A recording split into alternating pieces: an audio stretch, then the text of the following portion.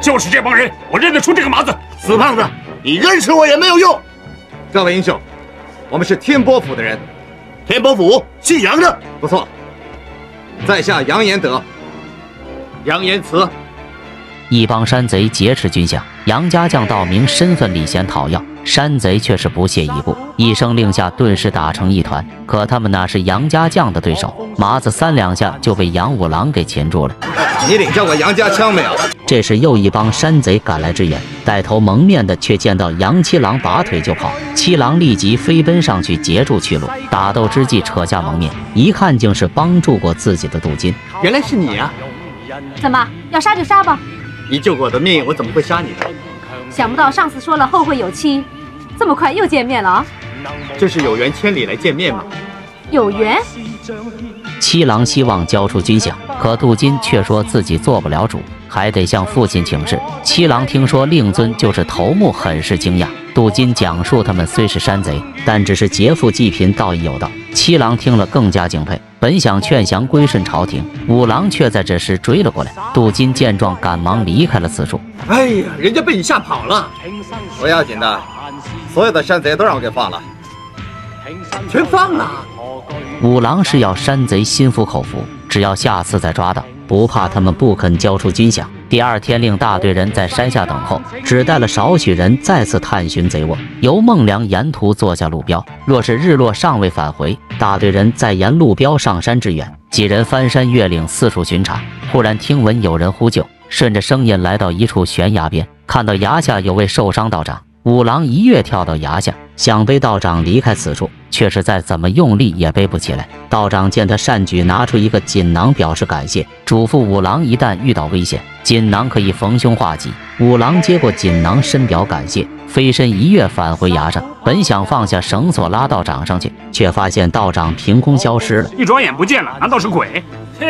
光天化日的，神仙还差不多呢。神仙，带着疑惑继续探寻贼窝。七郎看到山贼旗帜，就要往上冲。五郎赶忙将其拦下，吩咐几人原地埋伏。兄弟二人则带孟良交赞深入暗查。几人寻到一处山洞，发现明显有人住过，里面却是空空如也，财物已经被转移走了。气得七郎一阵打杂，并且不听五郎劝阻，写下声明：捣动者杨七郎。五郎劝他不要挑衅，七郎却是调皮不听。孟良交赞也是气愤。这时忽然进来一位妇人，立即上前刀架脖子，吓得妇人心惊胆颤，赶紧解释自己只是个做饭的，求几位大侠放他一马。孟良加以恐吓，让其带路寻找山贼。妇人只好乖乖顺从，可一路却是磨磨蹭蹭。孟良动不动就刀架脖子，吓得妇人晕倒在地，又说脚已受伤走不了了。五郎只好让七郎背着走。妇人就像丈母娘相姑爷，看了看杨七郎，表情显得非常满意。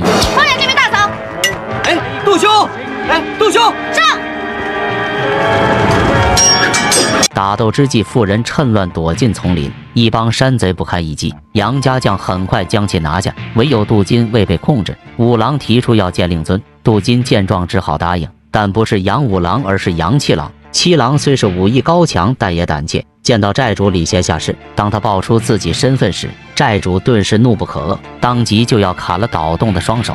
杜金赶忙上前阻止，奈何债主正处气头，举刀非要砍了杨七郎不可。这时父子二人拉扯起来，债主胡须居然脱落了。啊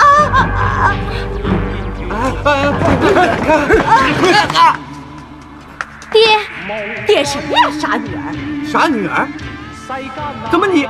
寨主看女儿对杨七郎一见钟情，给出选择，要么是死，要么就是娶了女儿。杜金听了暗自欣喜，更是羞得低眉垂眼。至于受绑的杨七郎，为求自保，只好同意，并且表示求之不得。债主决定当晚就成亲。山寨里面欢声一片，唯有新郎愁眉苦脸，丈母娘喝得如痴如醉，强把七郎押入了洞房。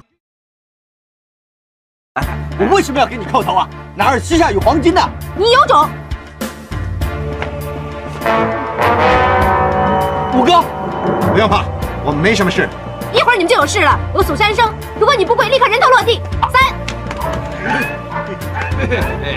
杨七郎被迫做了新郎，为救杨五郎，不得不认怂。本想三跪九叩就会相安无事，却又被骗喝下迷药，晕倒在地。新娘与债主喜得七郎，喝得酩酊大醉。杨家手下看几人许久未归，顺着标记找到山寨，趁着山贼喝得烂醉如泥，有惊无险救出了几人，而且找回了被劫的军饷。杨业要去包府做客，叮嘱儿子勤奋习武。